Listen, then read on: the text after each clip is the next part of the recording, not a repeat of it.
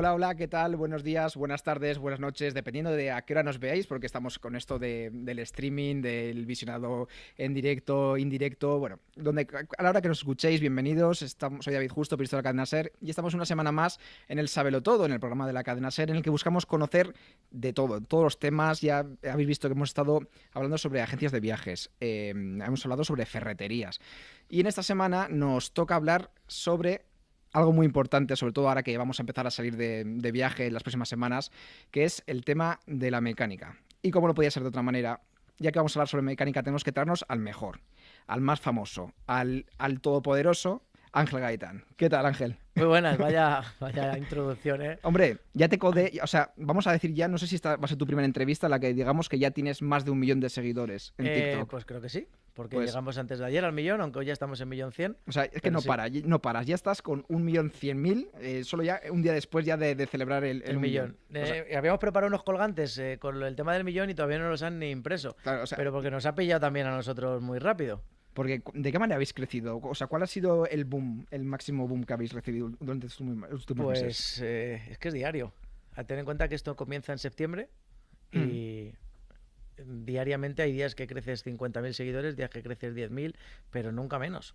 O sea, la gráfica siempre es hacia arriba y muy grande y estamos abriendo a otras plataformas y la verdad que están yendo todas Fenomenal. ¿Y cuál fue el primer día que dijiste, ojo, esto es serio? Aquí estamos entrando ya en un, terreno que, igual pues tengo que meterme aquí. Todavía no lo he dicho.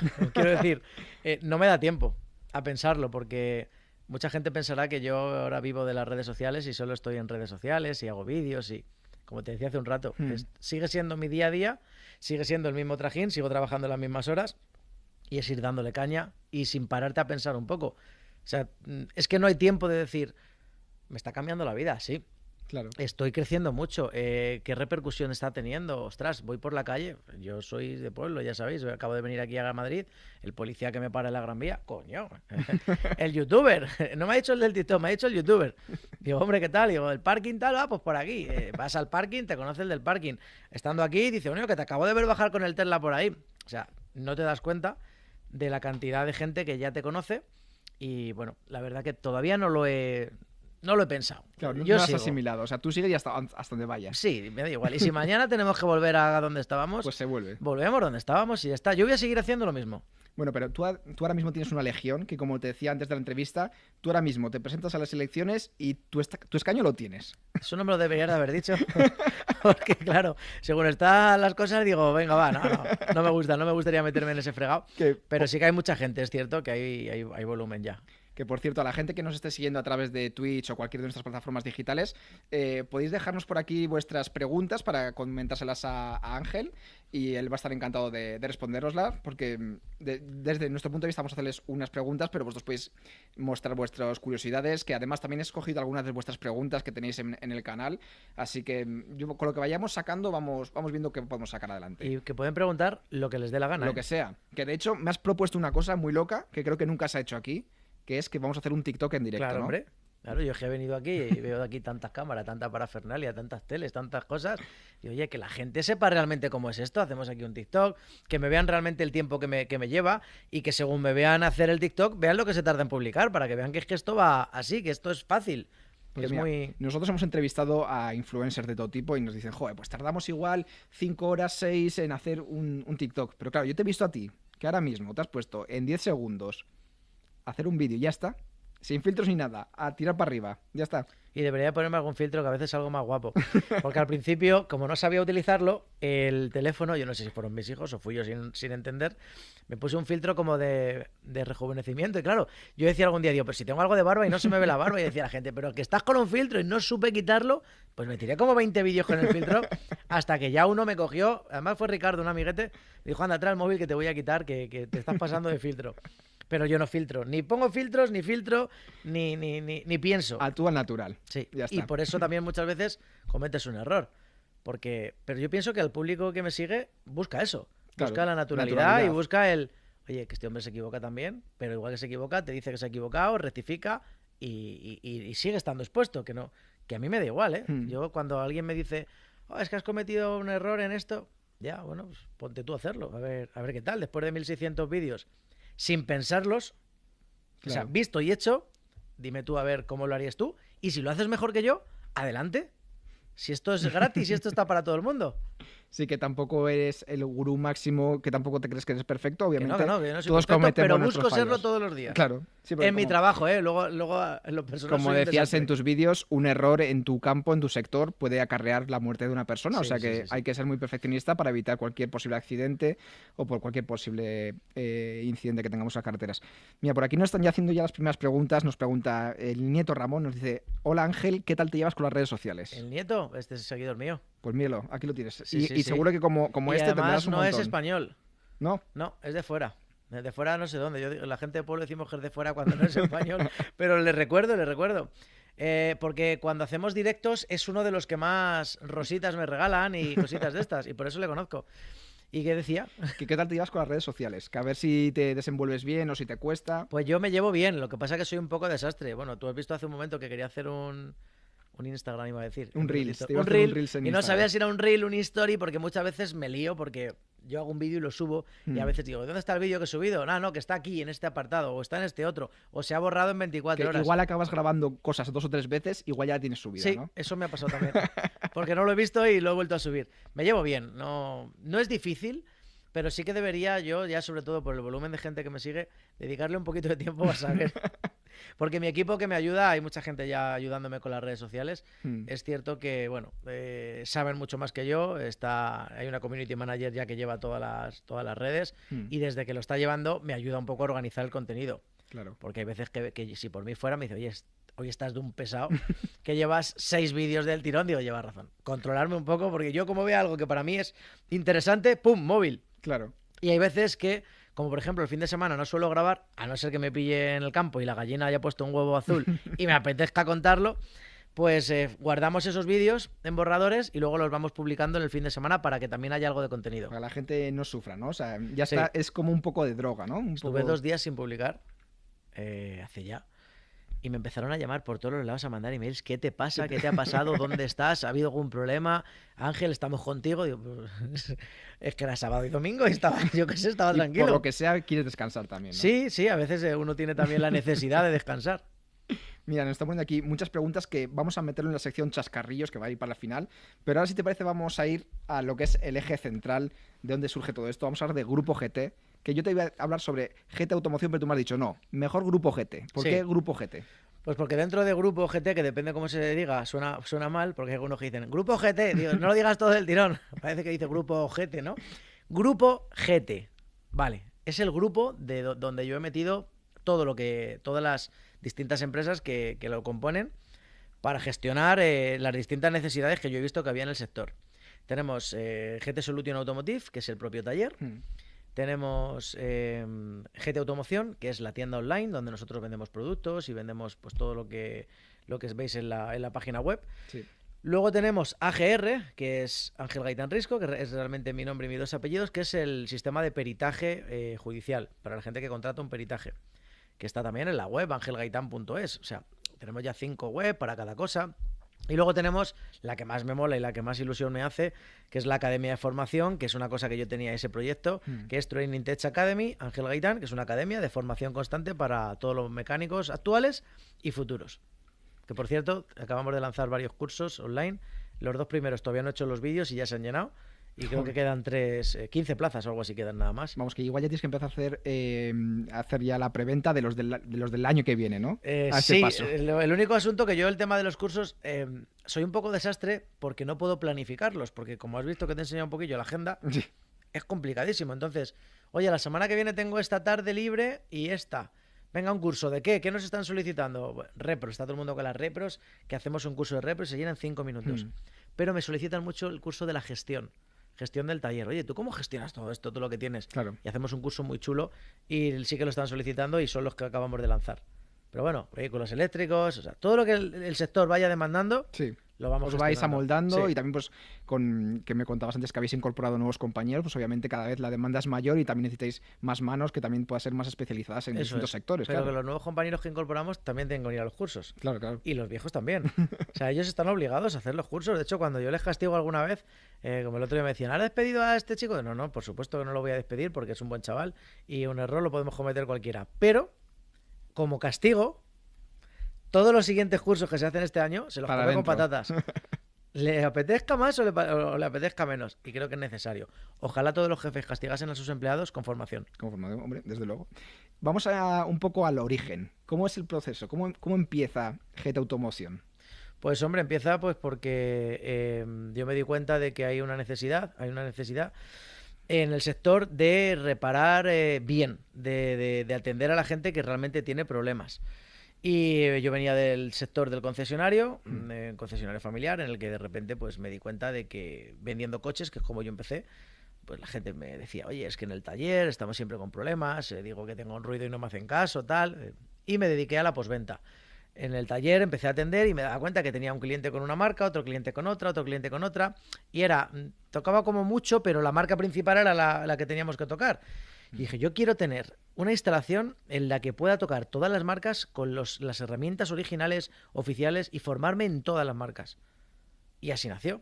Empecé solo, de cero, decido emprender mi camino yo solo, con mi equipo, gran parte de mi equipo en el que estaba en el concesionario y en el taller, vinieron conmigo. Y bueno, comenzamos de una manera muy, muy pobre, por así decirlo, ¿eh? convenciendo al propietario de la nave de que nos dejase unos meses de carencia, porque todo el dinero que había era para comprar máquinas. Que ni tan siquiera lo publicitabais, ¿no? No, se nunca hemos en tenido publicidad. Claro, Nunca. O sea, yo de hecho, tú vas a mis instalaciones y la gente me dice, es que no hay ni un cartel. claro. Está el de industria, que es lo obligatorio en la puerta. Ya está. No hace falta tener un cartel. El mejor, la mejor publicidad, yo antes de las redes sociales, como le digo a mucha gente, vivía y vivía bien, ¿no? Tenía Mm. muchísimo trabajo. Y la gente venía a conocerme porque lo recomendaban. O sea, el boca a boca al final siempre es la Claro, herramienta más eficaz. Yo ¿no? tenía una- un sistema de entrada al taller que la gente alucinaba. Era, yo filtraba al cliente. Tú puedes venir si vienes recomendado por parte de un cliente. Si no, no. Tú venías por la calle, oye, un taller, no, no, no. ¿Viene usted recomendado por parte de un cliente? No.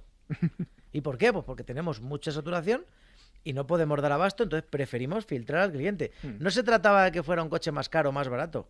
Era simplemente, ¿te conozco? No. Pero ¿te está recomendando un buen cliente mío? Genial. Y si ese cliente cometía el error de no pagar, de intentar engañar, de cualquier cosa, ¿sabes a quién le repercutía? Al Al, que le había recomendado. Y se les decía antes de todo, antes de comenzar el trabajo. Y al final, bueno, conseguimos crear una comunidad, ¿no? Muy chula. ¿Y cómo es el boom? O sea, de repente, o sea, ya me has dicho que siempre has tenido mucha carga de trabajo, Sí, pero que de repente el, el boom de que a niveles de que tengas que empezar a contratar cada vez más personas, eh, que surge a raíz de, de TikTok o, o a, o a raíz de... a raíz de TikTok. Cuando yo empiezo el primer vídeo, porque yo tengo un accidente laboral, eh, que de hecho todavía no hago muchas de las reparaciones eh, de- físicas, porque yo tengo el codo y el, y el hombro fastidiado. Todavía Mm. subo el hombro y hace clac alguna vez, pero bueno, Sí. estamos en ello y va mejorando. Eh, estando en el fisio, pues eh, me aburría un montón todos los días, fisioterapia, una locura. Y de repente, pues eh, me dice mi hijo, oye papá, ¿por qué no haces un TikTok? En el taller, en lugar de estar reparando, grabas, explicas. Mi hijo en aquel momento tenía 10 años. Y le digo, oye, pero ¿qué hago yo haciendo un TikTok? Si ahí solo salen chicas bailando, no pinto nada. Sí, hombre, que yo sigo a un youtuber que juega a los videojuegos, que tal, que me gusta. Mm. Venga, va, vamos a probar uno, no se pierde nada. Hicimos un TikTok y al día siguiente, 300 seguidores. Un vídeo, eh, a los primeros vídeos, uno de 6 millones de visitas. O sea, yo dije, ostras. No, al chaval se le habrá subido la paga, ¿no? no, no se le subió la paga porque no tiene paga. Yo considero que se la tiene que ganar, tiene que estudiar. Pero, pero sí que es cierto que, que le agradecí. Oye, pues mira, hijo, me has abierto las puertas a un mundo que desconocía. Yo no tenía redes sociales. O sea, en su Mm. momento tuve Facebook y luego lo quité porque Sí. me, me quitaba tiempo y demás. Y me di cuenta, pues, que es un mundo que si lo llevas al sector empresarial, funciona. Mm, Pero claro, te dedica, tienes que dedicarle tiempo y cariño. Claro. O sea, no vale cualquier cosa. Y no digo con esto que haya que editar los vídeos, porque yo no edito nada. Simplemente digo que si ya te pones a hacerlo, pues la gente que te va siguiendo te demanda que no dejes de hacerlo. Entonces tienes Claro. que tener un poco claro. Tengo otros compañeros de profesión. Yo cuando empecé no había mecánicos en TikTok. Ahora hay 200.000. Hombre, Y me alegro un montón, porque yo aprendo mucho también de ellos, ¿eh? O sea, yo hay compañeros que ponen reparaciones y digo, ostras, esta máquina no la conocía yo. O sea, tú eres consumidor habitual también de TikTok, Por ¿no? supuestísimo. Pero vamos, eh, más que ninguno. ¿Y algún canal que recomiendes así para la gente que nos esté viendo? ¿De TikTok? Sí, Pues mira, así alguno que te guste. como tengo una memoria de Dory, pero te puedo decir a quién sigo yo, por ejemplo, que eso lo pone por aquí, y a ver alguno de los que esté siguiendo que me guste. Ah, Hoy he empezado a seguir a Domo Electra, porque hemos terminado de poner las placas solares y tengo que hablar luego con él y decirle, oye, eh, cuéntame qué tarifa de luz y demás hay que coger. Pues por ponerte un ejemplo. El cerrajero del TikTok, que me está preparando unas, cer- unas, eh, cerraduras para toda la instalación con reconocimiento facial, porque me quiero quitar las llaves. Eh, Sergio Lucena, un abogado maravilloso. O sea, eh, es muy variopinto, ¿no? O sea, tienes Sí, un... sí, pero, pero que consumo. O sea, son cosas. Bueno, Courtois, Vinicius y Casillas, desde que le hicieron Esos los vídeos a, ¿no? a mi hijo, pues esto ya les sigo porque yo no soy futbolero. El carpintero de TikTok estuvo por allí también, pues es que sigo muchos. Sigo hasta el club de Tesla, o sea que con eso te digo todo. El club de Tesla. Sí. Si te parece, vamos a hablar sobre, sobre Tesla, porque Sí. recientemente también ha sido noticia también en muchos medios por, porque al fin has, has vencido, has ganado esa, mm, esa demanda que tienes contra Tesla. Vamos a explicar un poquito a la gente, vamos a poner en contexto Sí. qué es lo que pasó.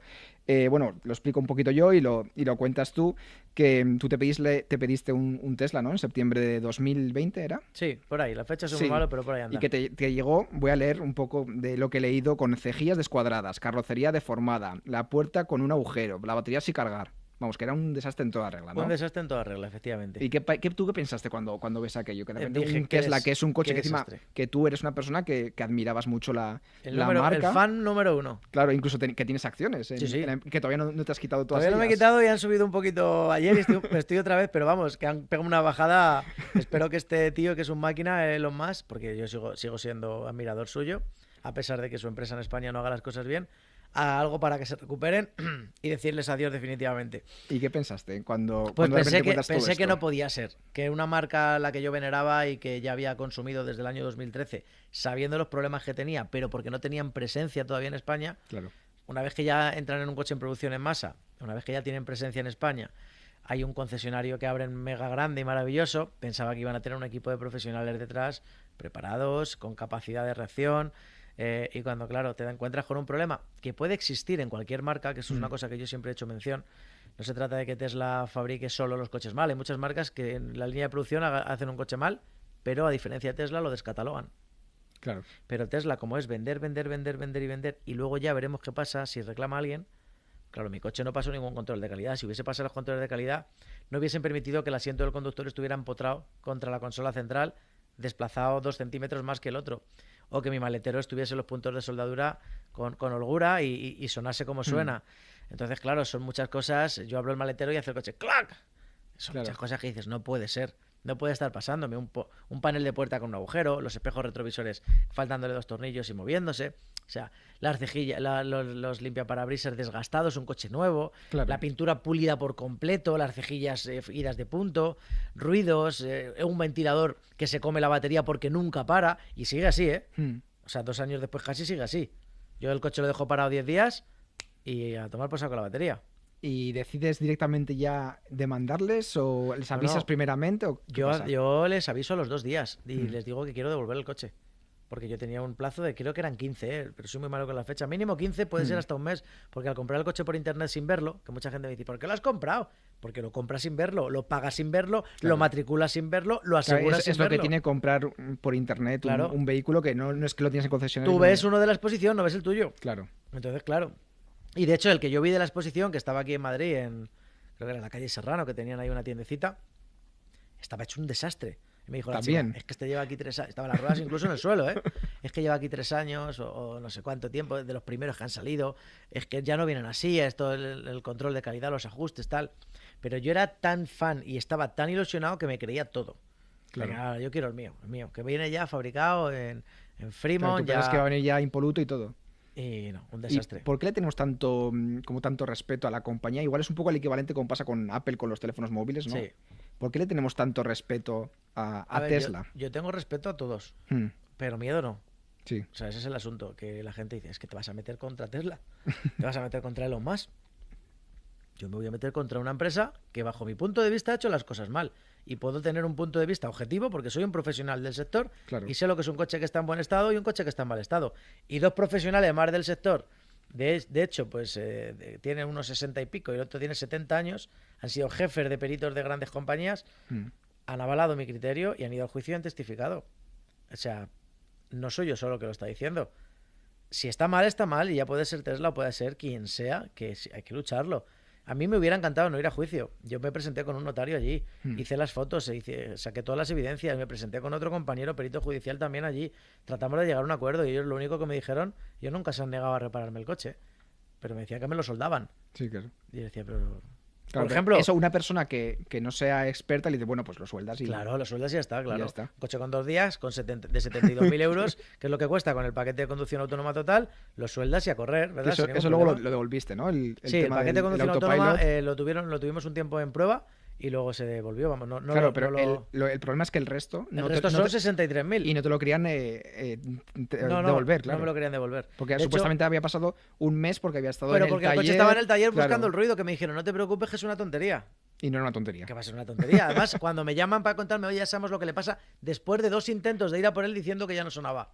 Y saliendo del concesionario, sin llegar a salir, empezar a oír los ruidos otra vez. Y decir, "Pero, eh, ¿me estáis vacilando? Claro. Bueno, sí, hubo, hubo hasta un caso que lo he contado, saliendo de la instalación que tenían en Getafe, antes de llegar a salir, a, la, car- incorporarme a la carretera de Andalucía, caerse el paragolpes delante porque se habían dejado los tornillos sin poner.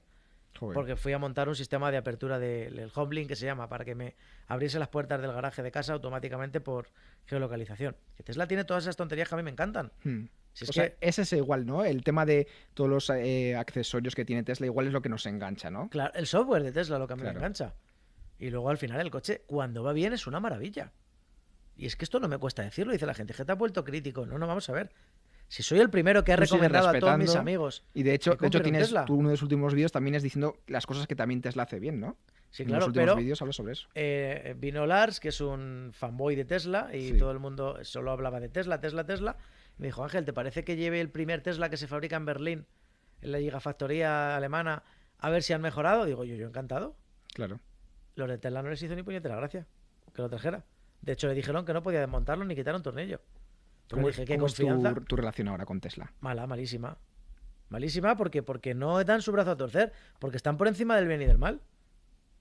Yo les he dicho, ¿queréis parar esto? Devolverme ya, que he ganado el juicio, devolverme el dinero. No, no, no pidáis prórrogas para... ¿Cuál es la resolución del juicio? ¿Qué he ganado? Que me devuelvan el dinero. Te tiene que devolver el importe de los Total, sese- el 63 importe o los que he pagado. 70, el no, porque el otro no no. lo pagué. O sea, son 63.000. 62.300 y pico más intereses.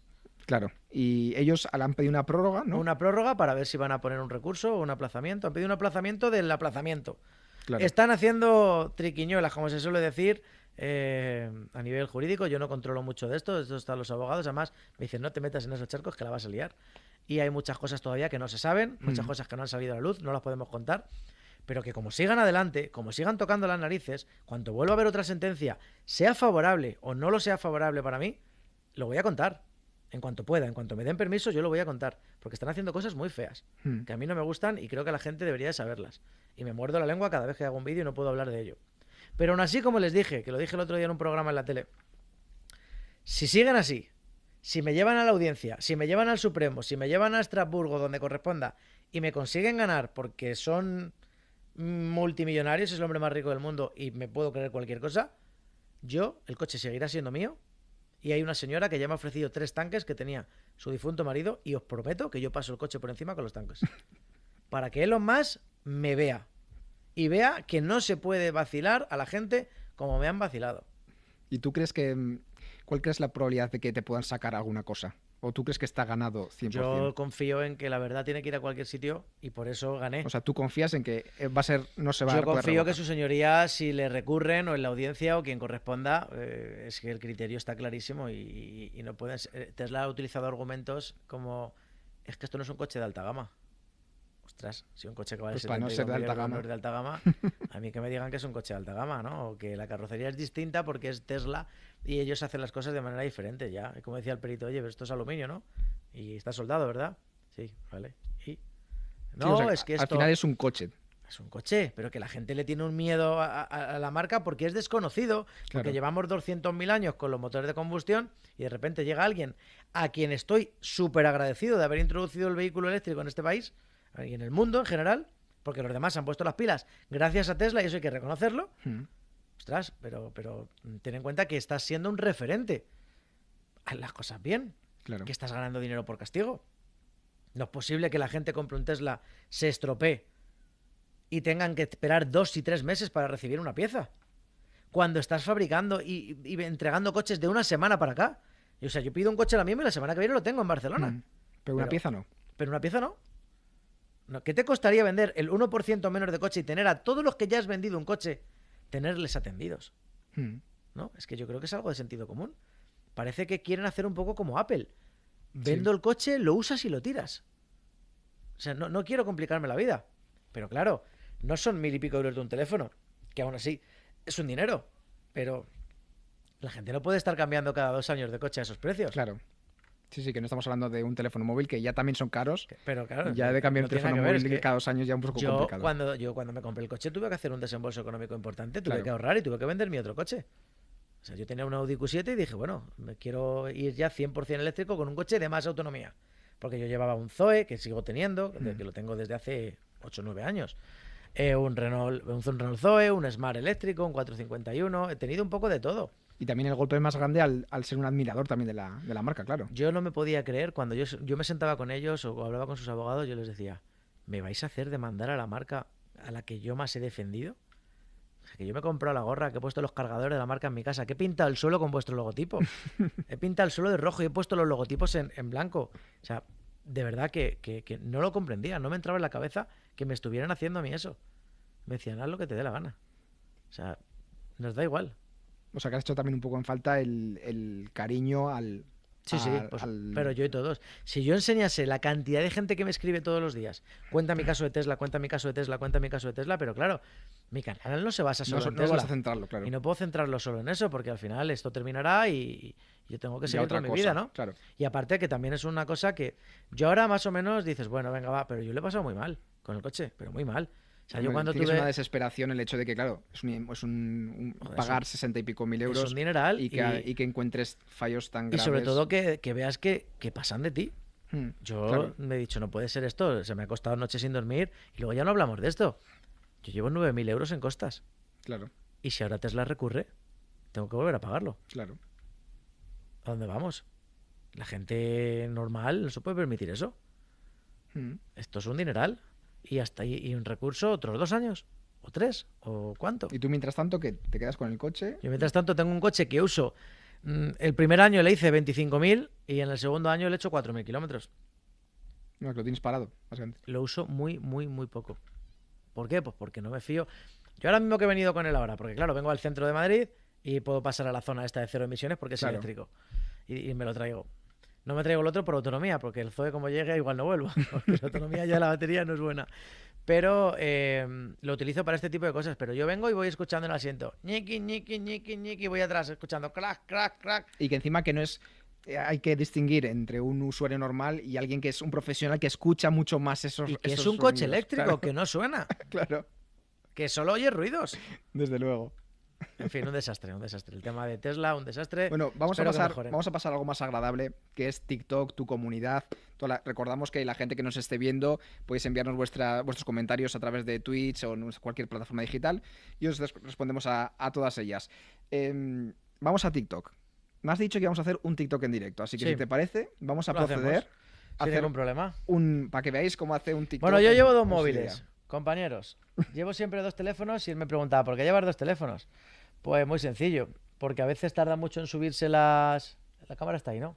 A veces tarda mucho en subirse el vídeo o uno tiene una tarjeta de teléfono con una compañía y otro con otra compañía porque no se sabe. Aquí este, que no sé qué compañía es, no tiene cobertura y este sí. O era al revés. Yo creo que este sí. Vamos a hacer el TikTok con este. Le damos al botoncito de TikTok.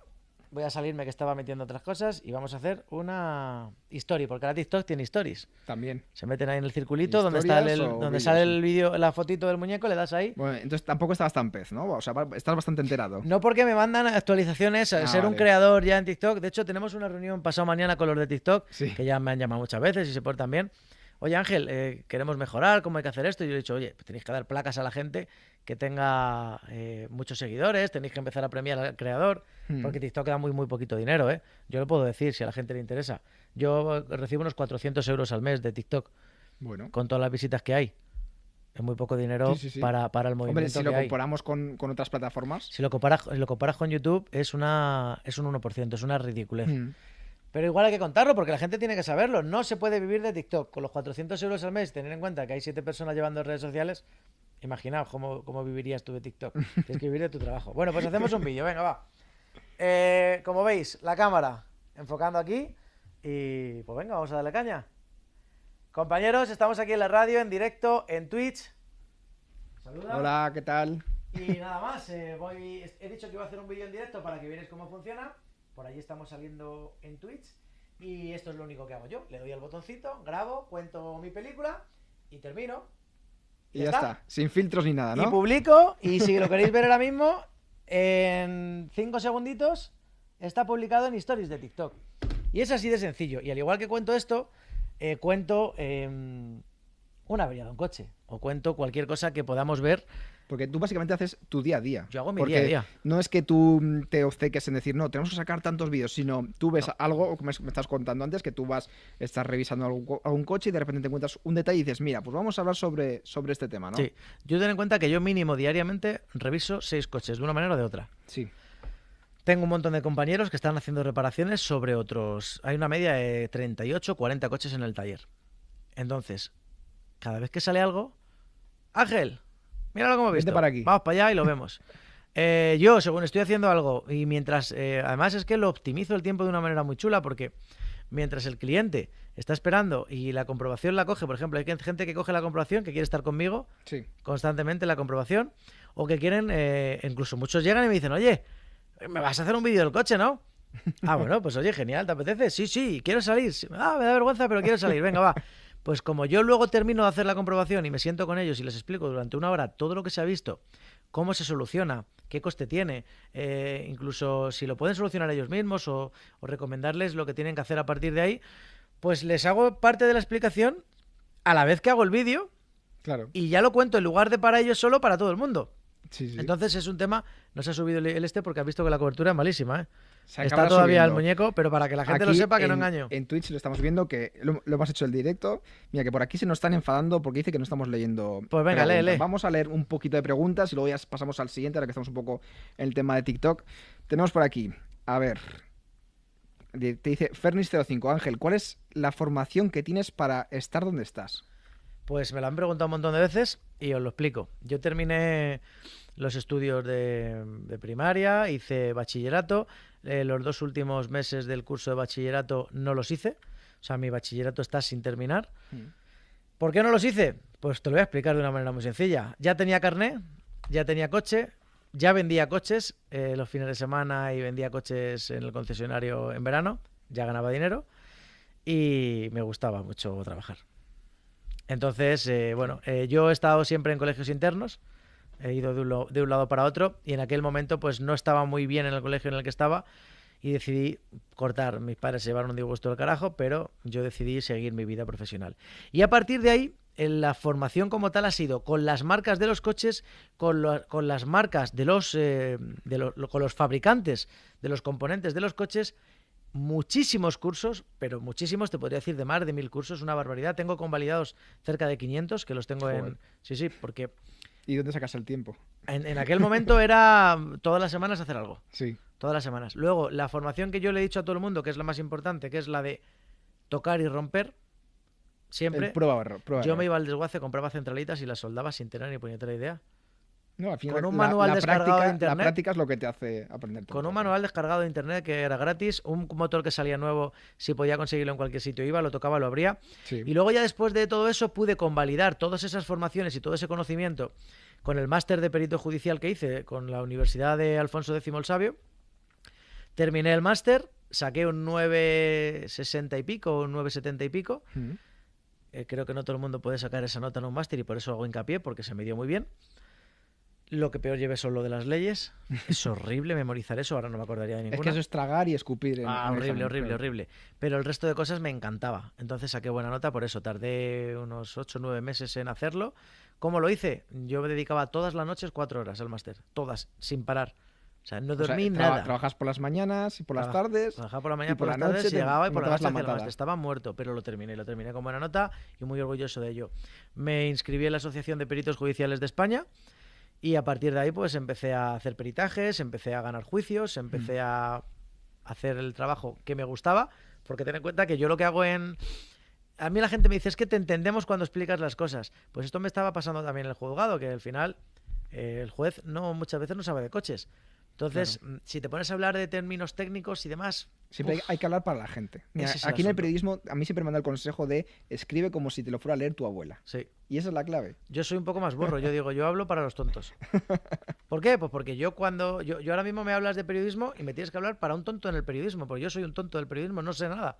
Entonces hay gente que me dice, yo es que de coches no sé, ¿vale? Claro. Pues yo te lo voy a explicar como si fueras tonto, sin faltar al respeto, es una forma de hablar y lo vas a comprender. Y cuando me dicen, ostras, es que, lo- es que mucha gente viene y cuando le estoy haciendo la explicación, pero no entres en esto si no me voy a enterar. ¿Cómo que no te vas a enterar? te tienes que enterar. Que igual es un poco. Luego te voy a preguntar sobre esto. Los talleres muchas veces ocultan cosas, ¿no? Y cuentan la película, no todos, ¿eh? porque hay talleres Claro, muy claro. buenos, pero, pero cuentan la película camuflando mucho y contando historias que al final al cliente, pues te pongo un ejemplo, eh, volviendo un, un momento a Tesla, Mm. cuando yo voy a una de las últimas veces después del juicio, de la denuncia y todo el tinglado y les digo, oye, las transmisiones me están sonando mucho, os hago unos vídeos, se las mando, y me empieza a contar el hombre que me ha engrasado el buje del disco de freno con la pastilla, con y según le estoy escuchando, le digo, ¿me has engrasado el buje con el disco? Sí. ¿Tú estás, estás oyendo lo que estás diciendo? Sí. Esto no tiene ningún sentido. Estás diciendo que has engrasado una pieza en la que no puede haber grasa. bueno, eh, eh, va. Y le empieza a dar vueltas, ¿no? Claro.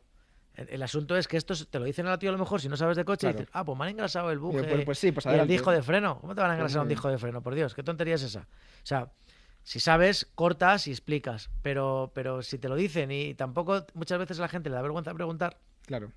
Ahí se queda. Sí, y por no quedar como tontos, ¿no? O sea, por, pero es por que miedo a quedar por eso como he dicho que tontos, hablo para tontos. que no hay que, no hay que tener miedo a preguntar Es que porque obviamente si es- tú no lo sabes- sois gente especializada y tenéis que dar respuesta también. Y es nuestro trabajo. Claro. Si tú no sabes cómo se hace, no es, no es un problema tuyo no saberlo. El problema es eh, que el que te lo tiene que explicar no te lo haga ver bien. Claro, que porque- te, que te lo sepa explicar. Para que tú te vayas con confianza. Claro. Porque a mí muchas veces es que me han dicho que me han cambiado, es que me han dicho, es que me han- Pero tú lo has visto, no.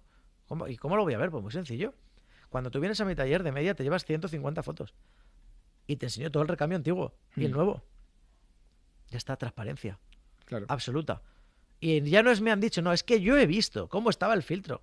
claro. Y yo he visto que han puesto el nuevo. Y sabes por qué han cambiado una pieza y no otra. Claro. Que igual en otras compañías o en otros talleres igual te la cambian y dicen, no, ha sido esto. Y te lo tienes que creer, sí o sí. Sí o sí, te lo tienes que creer porque es lo que hay. Pero no es Claro. correcto. Eh, Lo, lo ideal es, yo siempre he dicho, si tú tienes una avería de un euro, es de un euro. Mm, Y si tienes una avería de 10.000, es de 10.000. Claro. Sin camuflar. Mucha gente me dice, es que me dijeron que bueno, vamos a ver, vamos a desmontar. Y ya que tengo el motor desmontado, eh, van a ser 500. Ya, ahora desmontado, pues que ahora tienes, es que ahora, es y que te ahora. empieza a subir. Y ya empieza a subir, a subir y ya tienes el coche desmontado. No, hombre, no. Decidle a la gente, puede llegar hasta aquí. Y con el conocimiento, la experiencia y los medios se sabe, ¿eh? no, Mm. no, no es, no es eh, una varita mágica. Puede llegar hasta aquí. Probabilidades, explicar, poner todo sobre la mesa y que la gente decida si repara Mm. o no repara. Mira, otra pregunta, que encima tú como, como te gusta mojarte, que le dices las cosas sin filtros, como decías, seguro que te va a gustar. Nos la hace Marzuli es, barbaja es, dice, las marcas de coche no van a tardar en comprarte. ¿Qué dirías sobre eso?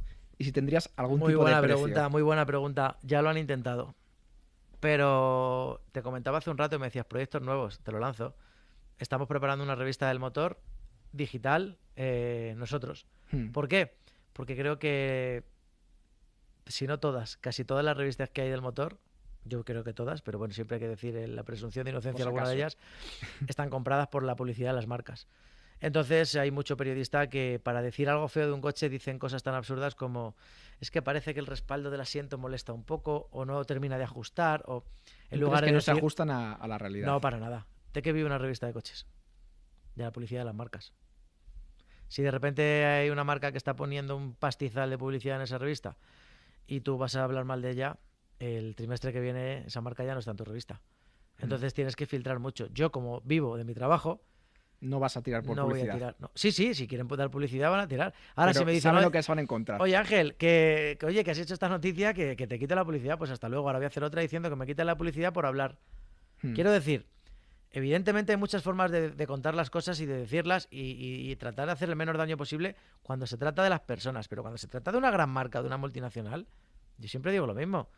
Es que no, no, no hay por qué filtrar. Claro. Porque nosotros para ellos somos números, tantos por ciento, somos, somos insignificantes. Entonces, yo no tengo miedo ni filtro. Mira, por aquí te están diciendo ya, Basatix te dice, ya tienes aquí uno que se va a animar a hacerse con esa revista, acabas de crear mucho hype.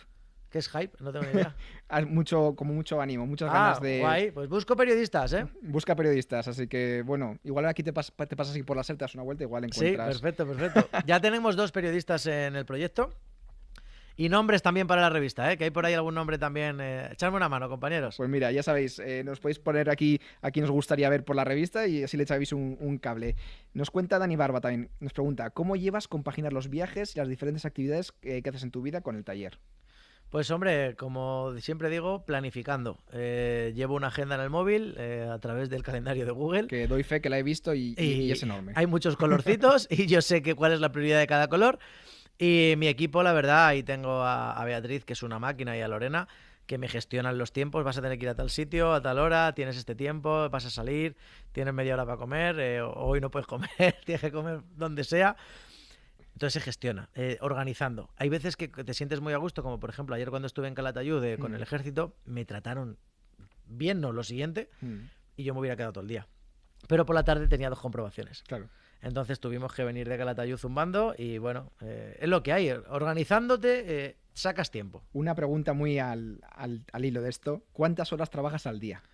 Pues eh, te pongo el ejemplo de ayer. Me levanto a las cuatro y media de la mañana, a las 5 llego a Aranjuez, al taller. En el taller recojo un compañero, nos vamos a Calatayud, a las siete y media, 8 llegamos a Calatayud, desayunamos, comenzamos todo el evento, terminamos, llegamos al taller, cuatro y media de la tarde, dos comprobaciones, terminamos a las 8 y de 8 a 10 y media estuvimos con la gente que nos está instalando las placas solares porque había un problema de comunicación con el este. Total, que llegué a casa a las 10 y media, 11 menos cuarto. A las 7 y media, a las 7 estaba levantado y a las 7 y media estaba saliendo de casa otra vez. Esto es así. Un no parar. Eh, descanso el fin de semana y es cuando tengo más tiempo de estar con la familia.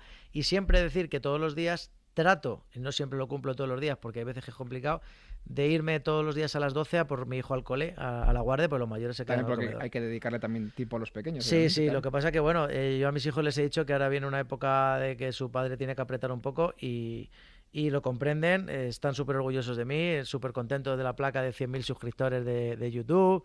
Eh, bueno, al final, si la familia no te apoya es muy complicado. Mira, nos hacen por aquí una pregunta, el Pluges, vamos a leérsela. Una pregunta para Ángel. ¿Por qué en los talleres se cobra suplemento en los repuestos y aparte mano de obra, que es en realidad el verdadero trabajo de un mecánico? ¿No sería mejor aumentar el costo de la hora de trabajo y no cobrar más por los repuestos? Es que cobrar un suplemento en un repuesto es ilegal. O sea, el, el repuesto tiene... El pues, repuesto, respuesta para... El repuesto tiene una tarifa y la tarifa es lo que tienes que cobrar. Otro tema es el descuento del repuesto. Hmm. Hay marcas, mira, por ejemplo, volvemos a Tesla porque es que es, es una marca súper súper rara para esto. Tesla te vende una pieza que vale mil euros, Sí. te la vende en mil. Y te hace pagar los gastos de envío, te hace pagar anticipadamente con la tarjeta y te mete absolutamente todos lo- los gastos.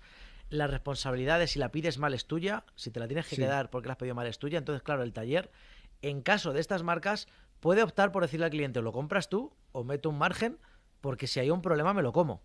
Entonces eso es perfectamente razonable, pero en otras marcas en las que puedas comprar un repuesto con un 20% de descuento o un 15%, pues ese, ese margen creo que es justo que se lo quede el taller y voy a explicar el por qué. Porque el taller tiene varios departamentos. El departamento de repuestos se nutre del repuesto y esa persona tiene que cobrar. Eh, cuando hay un problema y una garantía, eh, hay que hacer un procedimiento súper largo, tedioso y, asqueroso para mandarle a la compañía, oye, la garantía. Tiene el taller que hacerse cargo casi siempre de la mano de obra de la pieza que ha venido mal en garantía. Hmm. Entonces, ese margen, pero nunca incrementar el precio del repuesto. Y por supuestísimo, te digo que el taller debe de vivir solo y exclusivamente de la mano de obra. Genial, mira, por aquí nos está diciendo Lorena que eres un extraordinario jefe. Por aquí te dicen también, Basatis, qué grande eres nuestro ángel, mecánico de referencia profesional y siempre con la verdad por delante. Vamos, tienes aquí... Pues muchas gracias, Lorena, claro que es empleada. Claro, claro. ¿Cómo no va a ser esto? Oye, Lorena, está trabajando, ¿eh? Ah, claro, es que con de redes sociales, pues está trabajando ahora, ¿no? Está... Claro, nos está siguiendo por Yo aquí. siempre digo a los que están ayudándome en las redes sociales, digo, estáis todo el día con el móvil. Y dicen, claro, pues es que trabajamos con el móvil. Bueno, si te parece, vamos un poquito, ahora que estamos hablando un poco de, de taller, vamos un poco con consejos para verano, ahora que empieza ya, eh, empieza ya la operación salida, vamos a empezar a coger el coche ya para, para Yo le voy a dar a todo el mundo el mismo consejo, que se vayan en tren. Que, eran en tren, que que está la gasolina y el está muy gasoil. caro, ¿no? Que eso, o, o te vas a ir a cenar al chiringuito o, te- o echas gasoil, ¿no? Escoges una de las dos. Eh, al final, si vais a ir en coche y estáis tan locos como para ir en coche, sobre todo porque yo pienso que de aquí al verano esto se va a poner en 3 euros. O sea, esto es una locura. ¿Tú crees que va a llegar a los Sí, 3 sí, sí, euros? sí. Eh, Ten en cuenta que todos los veranos, operaciones salida y todo este tipo de, de eventos siempre hacen que suba el precio, ¿no? Entonces, creo que va a subir mucho y va a ser una locura. Pero el que todavía pueda permitirse irse en coche, pues el principal consejo, siempre lo voy a repetir, que son los neumáticos. Neumáticos. Ostras, de verdad. Mira, en verano las averías más frecuentes son en los coches más viejetes, los calentones. ¿Cuántos coches te encuentras en el lateral de la carretera con el capó abierto? Que a mí me hace mucha gracia la gente cuando abre el capó y lo deja abierto. y mira y dice, pues sí, está roto. Pero claro, yo muchas veces he parado la carretera y digo, ¿qué te pasa? Pues no sé, pero no, como has abierto el capó, eh, ¿y qué voy a hacer? ¿Abrir? ¿Abrir aquí? Que no? un poco. Que airee. Eh, problemas de temperatura. Eh, la gente no suele cambiar el anticongelante, la gente no suele revisar las bombas de agua hasta que no fugan. Eh, los radiadores a veces que están picados. La temperatura. Los neumáticos. De verdad, los neumáticos súper importantes. Lo limpia parabrisas. Que llevéis agua en el limpia parabrisas. Que funcione. Cosas de sentido común. Claro que pensamos que ahora no llueve, pero claro, te- no, no solo es lluvia, o sea, ayer, te puede venir ayer- cualquier... ayer llovió, te viene una Claro. tormenta de estas de. ¿Cómo lo llaman? o De la incluso calima. arena, claro, es. Y a ver qué haces. El barrizal que se te forma ahí. O te Mm. caga una cigüeña en el medio del cristal, que muchas veces llegan al taller unas plastas así de grandes, y le das al limpia Y nada. lías una del carajo. Lo Y hay que tener claro. mucho agua, claro. Entonces, cosas de sentido común. Eh, también, ¿qué, quería decir yo ahora mismo? Estábamos hablando del, de la Estamos hablando de cuál es, eh, por qué es importante revisar el sé, ya sé, ya vehículo ya y cuáles son las... Yo, como sabes, no tengo filtro y Mm. antes de ayer le, le eché una bronca a un cliente que luego dije, "Uf, la verdad es que me meto donde no me llaman algunas veces. Llega a poner un equipo de, de sonido. Eh, un equipo de sonido que vale un dineral, ¿eh? Dos mil y pico euros. Y según le estoy recepcionando el coche, digo, oye, lleva las ruedas en el alambre. Ya, bueno, pero ahora como es verano, ¿cómo que como es verano? ¿Qué pasa? No se desgastan en verano. ¿En verano no, no van a explotar? ¿O en verano? Hombre, en verano ten en cuenta que no hay lluvia ya y si mañana llueve un poquito, te matas. ¿Vas a poner el equipo de sonido antes de las ruedas? Sí. Y dije, pues me parece fatal. Y si se escuchan mal las ruedas, subes el volumen y no se Y escucha. ya está, claro. Y si explota, sube- nada. No tiene sentido y yo muchas veces hago, doy ese tipo de respuestas que muchas veces no debería de dar, pero es que me, me nacen así. Mm. No puedo comprender cómo alguien decide pintar el coche, poner un equipo de sonido o yo qué sé, o hacer una cosa que no tiene ninguna prioridad antes de poner unos neumáticos en buen estado. O gente que viene a hacer una reprogramación y lleva los neumáticos en el alambre y dices tú, pero macho, Entonces, tú dirías que mm, la principal, el principal fallo que os encontráis cuando, el error más habitual que detectáis cuando hacéis una revisión, sobre todo ahora con- de cara a operación, operación salida, son neumáticos, ¿no? mucho problema con neumáticos. La gente no sabe que los neumáticos tienen que estar en buen estado, que no pueden tener más de 5 años. Esto es, una, esto es una, un criterio mío porque las, eh, las marcas dan consejos, recomiendan y sobre Mm. todo dicen, bueno, si han estado eh, almacenados en buenas condiciones. Mira, en buenas condiciones almacenado, eso no lo tiene nadie. Te voy a explicar el por qué. Pasa aire, pasan rayos ultravioleta más o menos, los apilan en torres enormes donde se aplastan. Un neumático con más de 5 años se cristaliza, se queda duro y ya no termina ni de desgastarse. Empiezan a, hacerse fisuras, a, a caer los trozos de goma por- a, a trozos. Y el neumático es lo que va con, la, car- con el suelo de la carretera, son tus pies, son tus zapatillas. O sea, como frenes y el neumático no funcione, te vas a pegar un talegazo o como te explote una rueda con la familia dentro, ya te has fastidiado las vacaciones. Hmm. Y hay gente que ve el neumático por fuera y lo ve bien, pero no sabe que por dentro está pisando mal y, y- y está en el alambre. Claro. Entonces eso es súper importante que se revise, llevarlo a todos los talleres que queráis, porque cualquiera os puede revisar el neumático. Y consejo para todo el mundo en verano, en invierno y en primavera, cuando llevéis el coche al taller, pedid a vuestro mecánico que os haga fotos. Lo siento por los compañeros que, que se niegan, que hay muchos que me dicen, es que yo me niego a estar con el móvil, ya. Pero si tú quieres demostrar que lo que estás diciendo es así porque nadie te tiene por qué creer, demuéstralo con imágenes. Con una imagen vale más que mil palabras. Y la gente ya cada vez más está pidiendo fotos. Claro. Y creo que es lo mejor que puede pasar. ¿Esto estaba mal? Sí. ¿Me lo puedes enseñar? Porque no te dejan pasar al taller, prácticamente nadie te deja. Mm. Las marcas no te dejan pasar al taller. No, riesgos laborales, protección. Mira, riesgos laborales, pon unas, unas punteras de, de acero allí, que no hace falta ni descalzarse para ponerlas. Yo cuando voy a Bosch, a los cursos, no se puede pasar al taller si no vas preparado. Te dejan ellos unas punteras, o un Claro. casco, o lo que necesites. Y deja pasar al cliente. ¿Por qué no le dejas pasar? Porque tienes miedo a, a que se encuentre en el taller sucio, a que te encuentres a un mecánico dando voces por ahí o comiéndose un bocadillo que se le estén cayendo las migas en el asiento del cliente o con las manos llenas de mierda tocando un cristal. Quiero decir, si tú no tienes nada que ocultar, siempre y cuando se cumplan las medidas de seguridad, tú puedes dejar pasar a tu cliente al taller, ¿por qué no? Claro. Evidentemente hay clientes y clientes, ¿eh? El típico cliente que está el mecánico trabajando y le tienes ahí pegado en la nuca, que eso también se ve en muchos talleres más de barrio, Cada persona hay que dejarle trabajar, claro. eso es horrible. Además yo se lo digo, oye, oye, pero que te dejo que pases, te explico, pero deja trabajar al mecánico. Claro. Que además esto no es un circo. O sea, te explico, lo ves y el mecánico que trabaje y que trabaje tranquilo.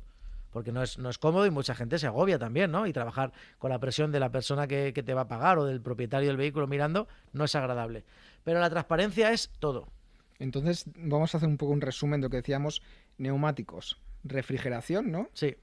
Eh, ¿qué, vamos, qué vamos a ver? Vamos a meter la batería. Batería del coche también. Las baterías con las temperaturas extremas, tanto con calor como con frío, mueren. Y la gente tampoco es consciente hoy en día, y fíjate que ya han pasado años, de que los coches de ahora, porque arranquen, no quieren decir que la batería esté bien. Se generan muchos fallos eléctricos cuando una batería tiene una caída de tensión. Hmm. Y el coche sigue arrancando. Pero ¿cómo se sabe si una batería está bien o mal? Venga, esta pregunta te la doy yo a ti. No tengo ni idea. Ni idea, ¿no? Yo, yo soy de los que dice que, que has echado gasolina a- al buje y me lo creo. O sea, gas- incluso gasolina. Has dicho una barbaridad ahora mismo y me ha parecido genial. ya está. O sea, soy de esos. O vale, sea, pues es muy sencillo. Hoy en día hay máquinas para todo. Y hay, una, hay un test, una máquina que analiza el estado de Hmm. carga y la salud de la batería. Para que te hagas una idea, tú puedes tener, eh, tú puedes tener mm, 100 años, que la salud ya no va a ser la misma que con 25, Hmm. y puedes tener una carga mm, del 100%, una energía brutal, un- pero no es lo mismo tener, a ver si no me, si no me hago un lío según te lo estoy explicando, porque quería hacer el símil, salud es la capacidad que tiene la batería de, de recargarse, de, de almacenar esa energía dentro, y carga es la carga que tiene en ese momento. Hmm. Y hay baterías que tienen muy buena carga porque han venido circulando, porque el alternador las acaba de cargar, pero no tienen salud, están muertas de salud. Pero si tiene 12 voltios, ya, pero, pero está, está agotada, ya no puede más. Tiene 12 voltios porque el alternador la venía cargando y se ha mantenido un momentito, pero lo dejas 10 horas parado y cae. Y eso es lo importante, que se analice con un equipo que te diga, está bien, está mal, tienes un 60% de vida y tú ya planifiques, ostras, que me voy a ir 15 días a Torrevieja, voy a aparcar, el coche no lo voy a usar casi, y el día que me vuelva a la carrera, el coche no arranca. Claro. Revisar las baterías. Genial. Mira, si te, si te parece, vamos a ir ahora un poco más de. Vamos, ya estamos eh, cerca del final. ¿Preguntitas? Sí, nos vamos a chascarrillos Venga. y luego preguntas que te hacen tus seguidores y seguidoras que, como tienes tantos, no te ha dado tiempo ni a leer. Porque son Mira, demasiados. el nieto Román me está escribiendo por TikTok. pues cuenta, cuenta. Mira, nos, pre- nos preguntan: ¿cuál es la mayor chapuza que te has encontrado en un vehículo de los que has estado analizando? Puf, el Nito Román dice que es de Málaga, perdóname, eh, que he dicho que eres de fuera y eres de Málaga, eres más español que yo. Eh, chapuzas, Sí. me encuentro todos los días y muchas veces muchas no las saco porque me da vergüenza, te lo digo de verdad. Pero las principales chapuzas me las encuentro... Bueno, te voy a contar una muy chula, venga, va. Un Volvo XC60 de un cliente del taller, Eh, además de allí de Aranjuez. Eh, XC90, perdón, de los antiguos. Revisando el coche por completo, me encuentro que le han puesto el turbo, es- eh, lleva un colector enganchado, es un turbo completo, y tenía una fisura por donde se escapaban los gases de escape. Le habían puesto cemento, Cemento. cemento. O sea, cuando yo llamé al cliente y le hice verlo, me decía, esto no puede ser. ¿Y qué hizo? Aquí lo tiene. Sobre todo porque el taller donde que le llevaba todo era de, de- de hace un montón de años y se lo había hecho. Y dices que a mí no me ha contado nada. Y digo, pues te voy a contar por qué creo que es. Porque probablemente el taller eh, viera la fisura y dijera, ostras, como le diga yo a este hombre que tengo que cambiar el turbo ahora, error por parte del taller.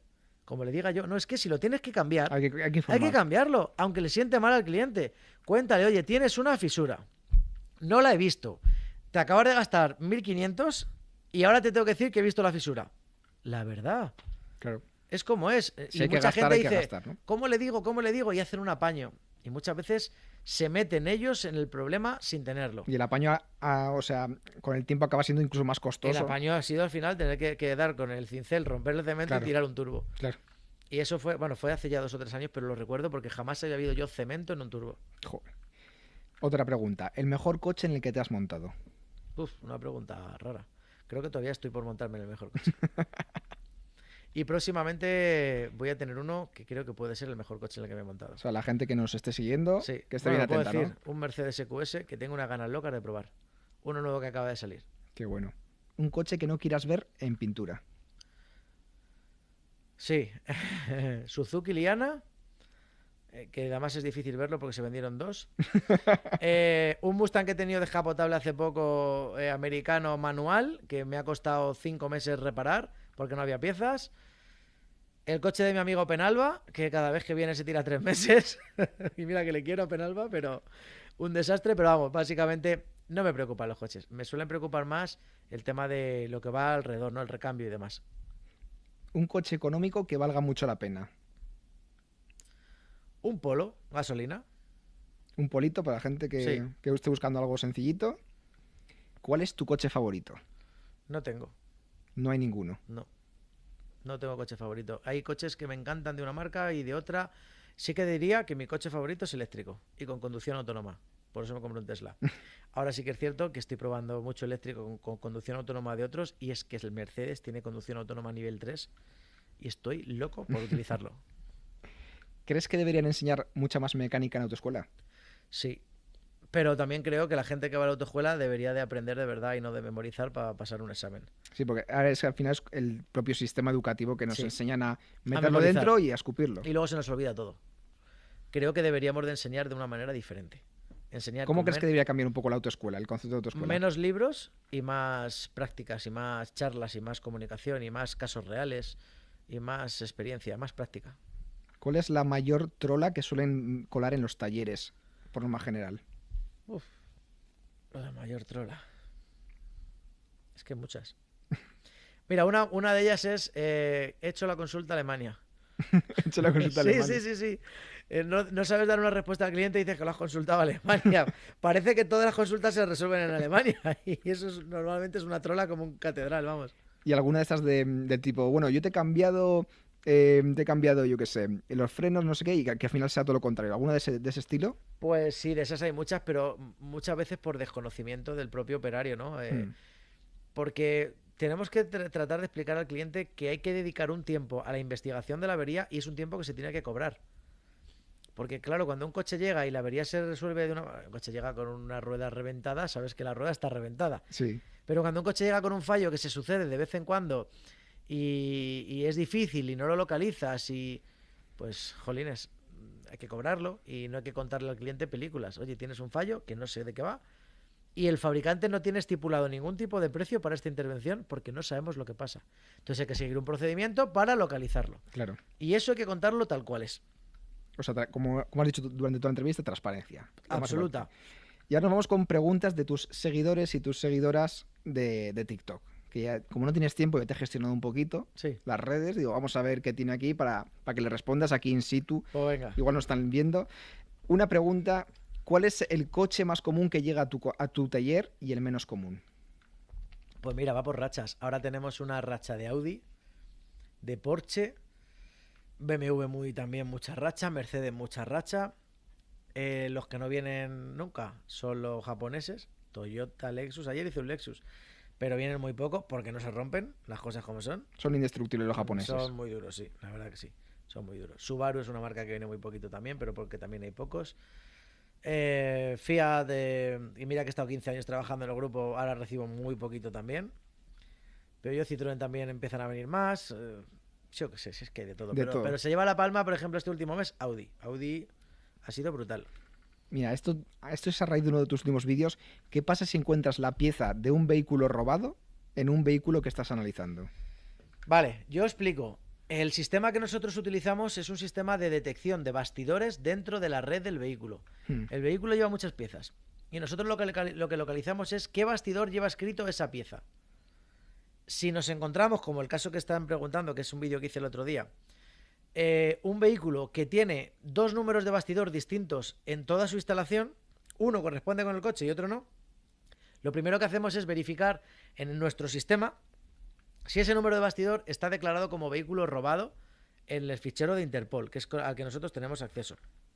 Sí. Si está declarado como vehículo robado, pues informar al cliente, decirle que se ponga en contacto con las autoridades y depende qué pieza sea, le van a dar importancia o no le van a dar importancia. No es lo mismo encontrarte una centralita de motor que encontrarte una antena de la radio. ¿Por qué? Porque la pieza la han podido robar en Checoslovaquia y rolar por 25 eh, redes de, de, mm, ¿Cómo se llama esto? De donde se vende por internet, de eBay y demás, mm. o la pop, y no le van a seguir la pista. Es una pieza barata y demás. Ahora, si te encuentras una centralita de motor, de caja de cambios o cualquier otra cosa más importante, no es por coger la pieza, es por hacer la trazabilidad hasta dónde ha llegado y de dónde sale y quién ha robado ese coche. Claro. Ese es el verdadero problema. Puedes espiar el origen de. El origen, eso es. Y normalmente el usuario no tiene ningún tipo de problema. Hmm. Otra pregunta que te hacen: un coche eléctrico, pero que sea asequible para bolsillos pequeños. Estoy probando el Polestar o Polestar, eh, 40 y pico mil euros, pero claro, es un vehículo con 500 y pico kilómetros de autonomía y es lo más baratito en calidad, precio y con buena autonomía. Eh, pues mira, bolsillos pequeños, un Zoe. Es el primer coche que empecé yo, 300 hmm. y pico kilómetros de autonomía. El, no el que yo tengo, el que yo tengo hace 120 ahora ya. Pero, pero sí, depende del kilometraje que quieras hacer. Los coches eléctricos se pagan por la autonomía, por la potencia eh, y por el software que lleven. Claro. Si quieres mucha autonomía, te tienes que ir a un vehículo potente. Y esto es así. Y ahí ya porque tampoco, supongo que hay, no todavía la red de puntos de carga es muy pequeña. Bueno, ahora hay una cosa muy chula y es que Tesla ha abierto la red de puntos de carga para todas las marcas. O sea, y está abierto para todo el mundo. Ya puede cualquiera cargar en un punto de Tesla. Claro, pero el problema es cuánto se tarda en hacer una carga. Depende, si menos de lo que la gente se imagina. ¿eh? Si tú, por ejemplo, te das un viaje, imagínate, cogemos aquí, estamos en Madrid, nos vamos hasta Cádiz y tenemos un Zoe, como decíamos. No nos, si tienes un Zoe con, 120 kilómetros de autonomía, no te vayas a ningún sitio. Claro, por eso. Si no vengo yo a Madrid, por si acaso se me complica con el aire acondicionado. ¿Cuánto, cuánto tardaríamos en hacer eh, un viaje así un poco más largo? Igual no con el Zoe, pero sí uno que tenga una... Yo con el Tesla, 470 kilómetros de autonomía, más o mm. menos, que es lo que le estoy sacando. Pues ese coche te puedes ir. Yo me he ido a la playa y he parado a, recargar un viaje de 500 kilómetros, paro a la mitad y luego el donde llego recargo en un enchufe normal. ¿Y cuánto tiempo estás de carga? Más Media o menos. Horita. Media horita. O sea, te tomas algo. Tiempo que paras a tomar algo, a ir al baño y ya está. ¿Y cuánto ganas en, ese tiempo? Mira, mira, yo te digo una cosa. Ahora estoy probando, llevo toda la semana probando un BMW, gasolina. Hmm. Un Serie 2 muy bonito, muy pintón, todo lo que tú quieras. Pero ayer eché 100 euros y esta mañana he hecho 50. Y a mí eso no me gusta. Porque yo cargo mi coche eléctrico, lo cargo con mis placas solares y no me gasto ni un euro. Entonces no me pueden competir contra eso. Hoy he llamado al de BMW y digo, ¿cuándo te devuelvo el coche? Y dice, oye, ¿estás cansado de él? Digo, no, digo, pero es que no me gusta nada pagar dinero en gasolina, claro. teniendo yo mis placas solares en mi casa y en el taller. Y es así, me sienta mal tirar ese, y sobre todo el precio que está. Mira, al hilo de esto, la otra pregunta que te hacen es, ¿es un buen momento para comprar un vehículo eléctrico? Sí, sí. De hecho, tener en cuenta que a partir del 2035 ni ni híbrido, ni térmico, ni nada. Se va o sea que híbrido no, recomendarías, ¿no? No, porque estamos en las mismas, es un parche. Ahora mismo los híbridos, eh, si la legislación fuese de otra manera, es un vehículo perfectamente válido. Híbrido enchufable yo preferiría. Para que digas, oye, me puedo mover en eléctrico todo el día para moverme por la ciudad y no tengo que arrancar el motor. La, parte que tengo de batería la, me, me da para hacer 50 kilómetros al día. Perfecto. No, no lo arranco. Genial. Y ya para cerrar, bueno, dos preguntas más. ¿Qué vehículos recomienda Ángel Gaitán de todas las categorías? Te están diciendo ya aquí. Pues qué vehículos recomiendo. Mira, la marca que más me gusta es Mercedes. Eh, luego tenemos BMW también. Yo Mercedes, pues hablaríamos de si es un vehículo de alta gama, el clase S es un coche que está hecho a conciencia si hablamos ya de vehículos eh, eléctricos, el EQE e creo que es más asequible, aunque sigue siendo un coche de 70 y pico mil euros, pero no es un EQS de 150 mil que se puede comprar más gente, porque la gente tiene que mentalizarse en una cosa. Pagar 60 y pico mil euros por un vehículo eléctrico, jolines, ya, pero pensar en lo que os vais a ahorrar de combustible, de seguro, de averías, pues los vehículos eléctricos al taller van muy poco. Claro. Muy poco. Y eso también hay que contabilizarlo y computarlo en la vida, de la, en la vida del coche, ¿no? Mm. Entonces, recomendar, mira, hay SEAT que están funcionando fenomenal. No me gusta Peugeot y Citroën, lo siento un montón para el que le gusten, a mí no me gustan. No me gusta Ford tampoco. Aunque tengo que probar el eléctrico, el, Mustang E-Match este, que creo que puede darme una sorpresa. Pero, como he dicho, no tengo coche preferido. Y por último, gente que, que igual es todavía un poco reacia a la tecnología dentro de, del coche. ¿Es verdad que los vehículos actuales se estropean más que los antiguos por la tecnología? Por supuestísimo que sí pero no podemos ir en contra del futuro, ni en contra del, progreso. Pues esto sería todo. Pues muchas gracias. ¿Qué tal, ¿Qué tal te has encontrado? ¿Te has encontrado bien? Fenómeno, sin ningún tipo de problema. Vamos bien de tiempo, las 2 y 5. Vamos perfectos. Así que. Así que tu gente está, lo tienes por allí. Así que nada, si quieres pegarle, despedirte de, de toda esta gente Ah, que, que no que te cortado ha todavía. seguido, ¿no? Vale, vale. ¿Dónde está mi que- gente por allí? Sí, ¿Qué pasa, compañeros? ¿Cómo estáis? Pues nada, oye, un placer haber estado aquí con vosotros. Eh, sabéis que tengo Twitch también, pero no tengo tiempo de, de encenderlo. Eh, cuando me recupere completamente de los brazos, haré de montajes de motores en Twitch, que sé que va un poco de eso, ¿no? De, de que la gente se de todo, suscribe va, y de está... todo. A ti te van a seguir, te- tu, tu gente te va a seguir a todos lados. Están, están aquí. Oye, Así que- seguirme en YouTube, que yo no sé cuándo, cuándo es la siguiente placa de YouTube, que tenemos 130 y pico mil. ¿Cuál tienes? ¿La de 100.000 tienes Sí. la placa? Pues la de un millón. Un millón, pues, pues no me queda entonces. Pues nada, seguirme en YouTube para llegar al millón. Y nada más, me he sentido muy cómodo contigo, así que cualquier cosa que te apetezca o que si cualquier otro día queréis hacer algo, encantado. Muy bien. Hablar de coches o de lo que haga falta, ¿vale? Muy bien. Pues nada, muchas gracias, chicos, chicas. Esto ha sido todo una semana más en el Sabelo Todo. Y nada, nos vemos próximamente con, con otra nueva entrega. Hasta luego. Adiós.